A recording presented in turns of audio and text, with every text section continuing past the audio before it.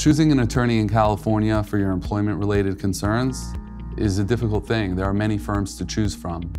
What we know is important here at ALG is to make sure that we're designed to help people whether your matter is going to resolve quickly through informal resolution, whether it's going to require some litigation work or whether it's going to require trial work.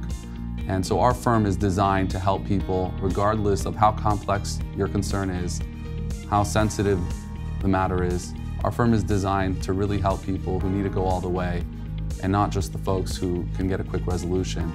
So it's important when you're choosing your firm, when you're choosing your employment-focused law firm, to focus on firms that have the capability to do what's required for your case.